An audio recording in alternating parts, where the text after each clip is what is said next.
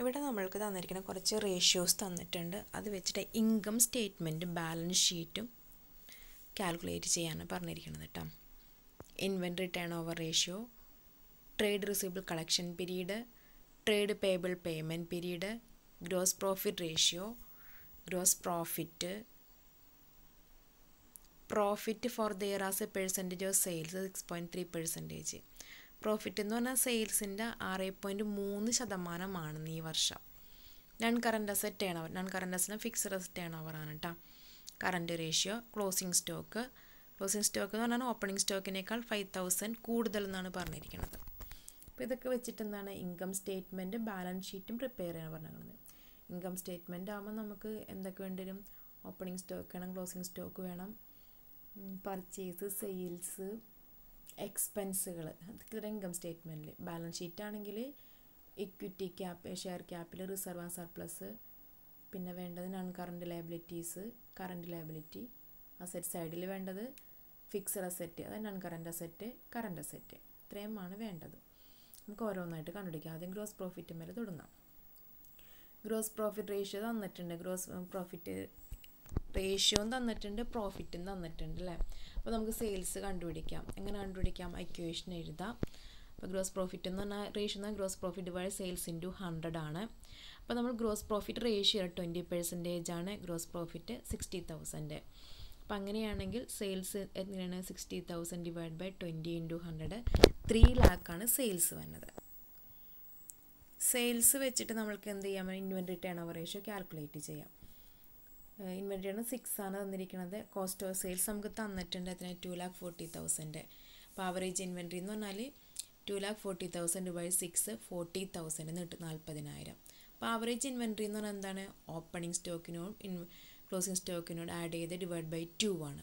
അപ്പോൾ അങ്ങനെയാണെങ്കിൽ forty thousand is equal to നമുക്ക് ഓപ്പണിംഗ് ഇൻവെന്ററി എക്സ് ആയിട്ട് എടുക്കാം അല്ലേ?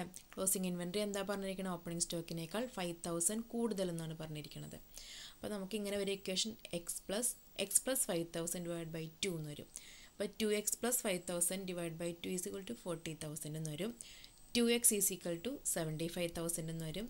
അപ്പോൾ ഓപ്പണിംഗ് ഇൻവെന്ററി എത്ര വരും നമ്മൾക്ക്? Thirty seven thousand five hundred എന്ന് വരും. അതായത് X is equal to seventy five thousand by two അപ്പോൾ മുപ്പത്തേഴ് അഞ്ഞൂറ് എന്ന് വരും. അപ്പോൾ ഓപ്പണിംഗ് സ്റ്റോക്ക് മുപ്പത്തേഴ് അഞ്ഞൂറാണെങ്കിൽ ക്ലോസിംഗ് സ്റ്റോക്ക് എത്രയായിരിക്കും? മുപ്പത്തേഴ് അഞ്ഞൂറിനോട് കൂടി അയ്യായിരം കൂട്ടാം. കൂട്ടുമ്പോൾ നാൽപ്പത്തി രണ്ട് അഞ്ഞൂറ് വരും.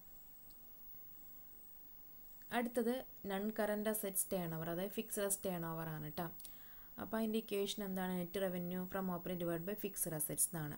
അപ്പോൾ ടേൺ ഓവർ റേഷ്യോ ഉണ്ട് നമുക്ക് സെയിൽസിന്റെ എമൗണ്ട് അറിയാം. അപ്പോൾ നൺ കറന്റ് അസെറ്റ്സ് കാൽക്കുലേറ്റ് ചെയ്യാം അപ്പോൾ നൺ കറന്റ് അസെറ്റ് അല്ലെങ്കിൽ fixed assets equal to three lakh divide by five sixty thousand വരും ഫിക്സഡ് അസറ്റ്സ് അടുത്ത കളക്ഷൻ പീരീഡ് തന്നിട്ടുണ്ട് ട്രേഡ് റിസീവബിൾസ് കളക്ഷൻ പീരീഡ് തന്നിട്ടുണ്ട്. ഇക്വേഷൻ പറഞ്ഞത് ഇങ്ങനെയാണ്. Trade receivables divide by credit sales into twelve എന്നാണ്. അപ്പോൾ collection period two months ആണ്. Trade receivables നമുക്ക് നമ്മുടെ കണ്ടെത്തേണ്ടത്. നമുക്ക് സെയിൽസിന്റെ എമൗണ്ട് നമ്മൾ ത്രീ ലാക്കാണ് അപ്പോൾ നമ്മൾക്ക് എന്ത് ചെയ്യാം? Trade receivables is equal to three lakh divide by twelve into two എന്ന് വരും. അപ്പോൾ ഫൈവ് തൗസൻഡ് ഫിഫ്റ്റി തൗസൻഡ് ആണ് എന്ത് വരുന്നത് ട്രേഡ് റിസീവബിൾസ് അതായത് ഡെപ്റ്റേഴ്സ് വരുന്നത്. അടുത്ത പേയബിൾ പേയ്മെന്റ് പീരീഡ് തന്നിട്ടുണ്ട് trade payable creditors trade payables divide by credit purchases into three sixty five ആണ് പർച്ചേസിന് ഒന്നാക്കുന്നത് സെവന്റി ത്രീ ഡേയ്സിന് തന്നിട്ടുണ്ട് നമ്മൾക്ക് ക്രെഡിറ്റ് പർച്ചേസിന്റെ എമൗണ്ടും അറിയാം. അപ്പോൾ അത് വെച്ചിട്ട് എന്ത് ചെയ്യാം? ട്രേഡ് പേബിൾസ് കാൽക്കുലേറ്റ് ചെയ്യാം. എങ്ങനെ വരും നമ്മൾക്ക്? Trade payables is equal to forty nine thousand എന്നാണ് എന്ത് വരുന്നത്? ഡെപ്റ്റേഴ്സ് ക്രെഡിറ്റേഴ്സ് കാൽക്കുലേറ്റ് ചെയ്യുമ്പോൾ കിട്ടുന്നത്. ഇനി അടുത്ത കറണ്ട് റേഷ്യോ വെച്ചിട്ട് നമുക്ക് എന്ത് കറണ്ട് അസറ്റ്സും കറണ്ട് ലയബിലിറ്റീസും കാൽക്കുലേറ്റ് ചെയ്യണം. അപ്പോൾ കറണ്ട് അസറ്റ്സ് എന്ന് പറഞ്ഞിട്ടുണ്ടെങ്കിൽ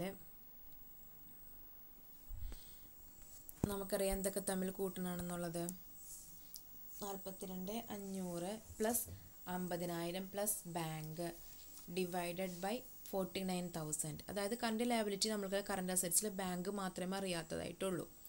അപ്പോൾ നമ്മൾക്ക് ninety two thousand ninety two five hundred plus bank divide by forty nine thousand എന്ന് കിട്ടും. അപ്പോൾ ബാങ്ക് ഈസ് ഈക്വൽ ടു എന്ത് ചെയ്താൽ മതി? Forty nine thousand into two point one minus ninety two thousand five hundred ആണ്. അപ്പോൾ ten thousand four hundred ആണ് എന്ത് കിട്ടണത്? കറന്റ് അസറ്റ്സിൽ ബാങ്ക് കിട്ടുന്നത്. ബാക്കി ഉള്ളത് നമ്മൾ കണ്ടുപിടി ഇൻവെൻട്രി കണ്ടുപിടിച്ചതാണ്. ഡെപ്റ്റേഴ്സിന്റെ എമൗണ്ടും കണ്ടുപിടിച്ചതാണ്. കറണ്ട് ലയബിലിറ്റി എമൗണ്ട് നമ്മൾക്കറിയാം. അപ്പോൾ നമ്മൾക്ക് എന്താണ്? ബാങ്ക് മാത്രമേ കണ്ടുപിടിക്കേണ്ടതുള്ളൂ. അപ്പോൾ അതാണ് നമുക്ക് പത്തേ നാനൂറിന് കിട്ടി. ഇനി അടുത്ത പർച്ചേസസ് കാൽക്കുലേറ്റ് ചെയ്യാം അല്ലേ? പർച്ചേസിൽ കോസ്റ്റ് ഓഫ് സെയിൽസ് ആണ് വരുന്നത്. Opening stock plus purchases minus closing stock ആണ്. അപ്പോൾ കോസ്റ്റ് ഓഫ് സെയിൽസ് പറഞ്ഞാൽ ടു ലാക്ക് ഫോർട്ടി തൗസൻഡ് ആണ്. ഓപ്പണിംഗ് സ്റ്റോക്ക് അറിയാം നമ്മൾ ക്ലോസിംഗ് സ്റ്റോക്ക് അറിയാം. പർച്ചേസ് ആണ് അറിയാൻ പാടില്ല പർച്ചേസ് ഇസ് ഈക്വൽ ടു എത്രയും two lakh forty five thousand ആണ് വരുന്നത് എങ്ങനെ വരുന്നത്? Two lakh forty thousand minus thirty seven thousand five hundred minus forty two thousand five hundred എന്ന് വരും. അപ്പോൾ ചെയ്യുമ്പോൾ നമുക്ക് two lakh forty five thousand ആണ് പർച്ചേസസ് കിട്ടുന്നത്. ഇനി അതർ എക്സ്പെൻസസ് കണ്ടുപിടിക്കണം. അതായത് നെറ്റ് പ്രോഫിറ്റ് ആണ്. Net പ്രോഫിറ്റിന്റെ equation total revenue minus expenses എന്നാണ് കേട്ടോ അപ്പോൾ ടോട്ടൽ റവന്യൂ നമുക്കറിയാം മൂന്ന് ലക്ഷം. അതായത് സെയിൽസ് മൂന്ന് ലക്ഷമാണെന്നറിയാം. അതിൽ പറഞ്ഞിട്ട് നമ്മൾ എത്രയാണ്? സെയിൽസിന്റെ സിക്സ്റ്റി ത്രീ പോയിന്റ് പെർസെന്റേജ് എന്താണ്? നെറ്റ് പ്രോഫിറ്റ് ആണെന്നാണ് പറഞ്ഞിരിക്കുന്നത് അപ്പോൾ അത്രയും നമ്മൾ കാൽക്കുലേറ്റ് ചെയ്യുമ്പോൾ പതിനെട്ട് തൊള്ളായിരം എന്ന് കിട്ടും. അപ്പോൾ എന്ത് ചെയ്താൽ മതി? എക്സ്പെൻസ് കാൽക്കുലേറ്റ് ചെയ്യാനായിട്ട് ത്രീ നിന്ന് എയ്റ്റീൻ തൗസൻഡ് നയൻ ഹൺഡ്രഡ് കുറച്ചിട്ട് two lakh eighty one thousand one hundred ആണെന്ന് കിട്ടുന്നത് എക്സ്പെൻസസ് കിട്ടുന്നത് അപ്പോൾ ഇത്രയുമാണ് നമ്മൾ കണ്ടുപിടിക്കുന്നത് അപ്പോൾ ഇത്രയും ഇതൊക്കെ വെച്ചിട്ട് നമുക്ക് ആദ്യം ഇൻകം സ്റ്റേറ്റ്മെന്റ് പ്രിപ്പയർ ചെയ്യാം. കോളങ്ങളൊക്കെ വരയ്ക്കാം. ഇൻകം സ്റ്റേറ്റ്മെന്റ് ഹെഡിങ് കൊടുക്കുക particulars note number current year previous year ആദ്യം റവന്യൂ ഫ്രം ഓപ്പറേഷൻസ് എടുത്തത് ത്രീ ലാക്ക് ഫസ്റ്റത്തെ വർക്കിംഗ് നോട്ടിലുള്ളത് അതർ ഇൻകം ഇല്ല. ടോട്ടൽ റവന്യൂ ത്രീ ലാക്ക് തന്നെ. പിന്നെ എക്സ്പെൻസുകൾ എടുത്തെഴുതാം costume material consumer two lakh forty five thousand അത് പർച്ചേസസ് ആണ് കേട്ടോ ഇനി ഇവിടെ ചേഞ്ചസ് ഇൻവെൻട്രീസ് എന്ന് പറയുന്നത് ഓപ്പണിംഗ് സ്റ്റോക്കും ക്ലോസിംഗ് സ്റ്റോക്കും തമ്മിലുള്ള വ്യത്യാസമാണ് കേട്ടോ ഓപ്പണിംഗ് സ്റ്റോക്ക് മുപ്പത്തേഴ് അഞ്ഞൂറും ക്ലോസിംഗ് സ്റ്റോക്ക് നാൽപ്പത്തി രണ്ട് അഞ്ഞൂറുമാണ്. അപ്പം നെഗറ്റീവാണ് വരേണ്ടത്. അത് ഡിഡക്റ്റ് ചെയ്യണം. ഫൈവ് തൗസൻഡ് അതർ എക്സ്പെൻസ് നമ്മൾ കണ്ടുപിടിച്ചിട്ടുണ്ട്. എത്രയാണത്?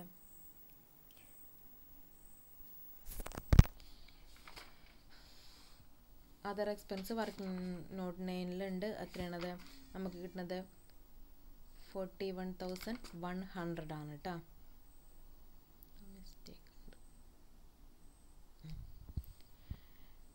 ടോട്ടൽ എക്സ്പെൻസസ് വന്നത് two lakh eighty one thousand one hundred other expenses ആണ് forty one thousand one hundred വരുന്നത് അതർ എക്സ്പെൻസസിൽ വരുന്നത് കേട്ടോ two lakh eighty one thousand one hundred ആണ് എന്തായിട്ടാണ് ടോട്ടലായിട്ട് വരുന്നത്. ടോട്ടൽ എക്സ്പെൻസസ് വരുന്നത്. അപ്പോൾ ഈ അതർ എക്സ്പെൻസസിൽ വരുന്നത് നമ്മൾ ടോട്ടൽ ചെയ്തിട്ട് ബാക്കി വരുന്ന ബാലൻസിങ് ഫിഗർ ആണ് നാൽപ്പത്തൊന്ന് ഒരുന്നൂറ് വരുന്നത് കേട്ടോ ബാലൻസിങ് ഫിഗർ ആയിട്ടായിരിക്കും വരുന്നത് നമ്മുടെ എക്സ്പെൻസ് കാൽക്കുലേറ്റ് ചെയ്യുന്ന അതർ ഇതിൽ two lakh eighty one thousand one hundred കിട്ടുന്നുണ്ട്. അപ്പോൾ ബാക്കിയുള്ളതൊക്കെ ഇത് റവന്യൂ കൂട്ടി അതിൽ നിന്ന് എക്സ്പെൻസ് ഡിഡക്റ്റ് ചെയ്യുക. അതിൽ ഫൈവ് തൗസൻഡ് ഉള്ളതും ഇതിൽ നിന്ന് ഡിഡക്റ്റ് ചെയ്യുമ്പോൾ forty one two lakh eighty one thousand one hundred വരും. ഇനി നമുക്ക് പ്രോഫിറ്റ് ബിഫോർ ടാക്സ് ആണ് കാൽക്കുലേറ്റ് ചെയ്യുന്നത്. പതിനെട്ട് തൊള്ളായിരമാണ് പ്രോഫിറ്റ് ബിഫോർ ടാക്സ് കിട്ടുന്നത്. പ്രോഫിറ്റ് ആഫ്റ്റർ ടാക്സ് എത്രയാണ് കിട്ടുന്നത്? ആഫ്റ്റർ ടാക്സ് എന്ന് പറഞ്ഞിട്ടുണ്ടെങ്കിൽ ടാക്സ് കുറയ്ക്കാനില്ല. അപ്പോൾ എന്ത് ചെയ്യാം നമുക്ക്? നേരെ അത് തന്നെ എടുത്തെഴുതാം പതിനെട്ട് തൊള്ളായിരം. ടാക്സിന്റെ എമൗണ്ടോട് ഡിഡക്റ്റ് ചെയ്യാനില്ലാത്തത് കൊണ്ട് കേട്ടോ ഇനി അടുത്തത് നമ്മൾ കണ്ടുപിടിച്ച നോട്ട്സ് സ്റ്റോക്കാണ് വൺ ടു എന്നൊക്കെ പറഞ്ഞില്ലേ? റവന്യൂ സെയിൽസ് ആണ് മൂന്ന് ലക്ഷം. Changes inventory finish stock opening stock മുപ്പത്തേഴ് അഞ്ഞൂറ്. ക്ലോസിംഗ് സ്റ്റോക്ക് വന്നത് നാൽപ്പത്തിരണ്ട് അഞ്ഞൂറ്. ഡിഫറൻസ് ഫൈവ് തൗസൻഡ് ഈ ഫൈവ് ആണ് നമ്മൾ ചേഞ്ച് ഇൻവെന്ററീസ് എന്ന് പറഞ്ഞ് കാണിച്ചിരിക്കുന്നത് ഇനി ബാലൻസ് ഷീറ്റാണ് ബാലൻസ് ഷീറ്റിലെ ആദ്യം ലാബിലിറ്റീസ് ഇക്വിറ്റി ആൻഡ് ലാബിലിറ്റീസ് ആണ് ഷെയർ ഹോൾഡേഴ്സ് ഫണ്ട് എന്ന് പറഞ്ഞിട്ട് ഷെയർ ക്യാപിറ്റൽ നമ്മൾക്ക് കണ്ടുപിടിച്ചിട്ടില്ല നമ്മൾ റിസർവ് കണ്ടുപിടിച്ചിട്ടുണ്ട് പതിനെട്ട് തൊള്ളായിരം ആണത്. റിസർവ് എന്ന് പറഞ്ഞാൽ നമ്മൾ പ്രോഫിറ്റ് ആൻഡ് ലോസ് അക്കൗണ്ടിലെ ബാലൻസ് ആണ് കേട്ടോ ഇൻകം ബാലൻസ് ചെയ്ത് പ്രോഫിറ്റ് ആഫ്റ്റർ ടാക്സ് എന്ന് കണ്ടുപിടിച്ചതാണ് ഇവിടെ റിസർവ് ആൻഡ് സർപ്ലസിൽ എടുത്തെഴുതുന്നത് ഷെയർ ആപ്ലിക്കേഷൻ മണി ഇല്ല. Non current ലയബിലിറ്റിയിൽ current liabilities non current liabilities ഇല്ല. കറണ്ട് ലയബിലിറ്റീസിൽ വരുന്നത് നാൽപ്പത്തി കറണ്ട് ലയബിലിറ്റീസിൽ വരുന്നത് ട്രേഡ് പേയബിൾസ് മാത്രമാണ്. അത് നാൽപ്പത്തി ഒൻപതിനായിരമാണ് കേട്ടോ ടോട്ടൽ ലയബിലിറ്റീസ് ആയിട്ട് ടോട്ടൽ ഒരു ലക്ഷത്തി അറുപത്തിരണ്ട് തൊള്ളായിരം വരും. അപ്പോൾ ആ ഒരു ലക്ഷത്തി അറുപത്തിരണ്ട് തൊള്ളായിരം വരുന്ന പറയുന്നത് നമ്മൾക്ക് ഷെയർ ക്യാപിറ്റൽ എമൗണ്ട് അറിയില്ല കേട്ടോ അപ്പം നമ്മളത് അവിടെ ഇടാം. ഇട്ടതിന് ശേഷം അസെറ്റ് സൈഡിലെ ഐറ്റംസ് ഒക്കെ എടുത്തെഴുതുക ഏതാണ് ഫിക്സഡ് അസെറ്റ്സ് അറുപതിനായിരം ഇൻവെന്ററീസ് നാൽപ്പത്തിരണ്ട് അഞ്ഞൂറ് ട്രേഡ് റിസീവബിൾസ് അൻപതിനായിരം ക്യാഷ് പത്ത് നാനൂറ് എന്നിട്ട് അസറ്റ് സൈഡ് ടോട്ടൽ ചെയ്യുമ്പോൾ എത്രയാണ്? എമൗണ്ട് ഒരു ലക്ഷത്തി അറുപത്തിരണ്ട് തൊള്ളായിരം കിട്ടും. അത് ലയബിലിറ്റി സൈഡിൽ എടുത്ത് എഴുതാം.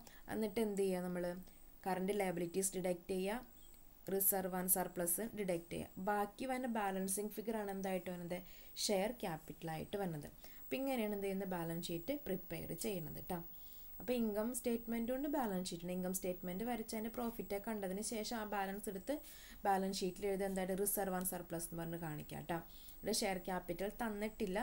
അസറ്റ് സൈഡിൽ എല്ലാ ഐറ്റവും എടുത്ത് എഴുതി ടോട്ടൽ ചെയ്തിട്ട് ആ എമൗണ്ടിന് എന്തൊക്കെ കുറയ്ക്കാം? റിസർവ് ആൻഡ് സർപ്ലസും കുറയ്ക്കാം. ട്രേഡ് പേബിൾസും കുറക്കുക ബാക്കി കിട്ടുന്നതാണ് എന്തായിട്ട് എഴുതുന്നത് ഷെയർ ക്യാപിറ്റലായിട്ട് എഴുതുന്നത്. അപ്പോൾ ഇങ്ങനെയാണ് ഇത് പ്രിപ്പയർ ചെയ്യണത് കേട്ടോ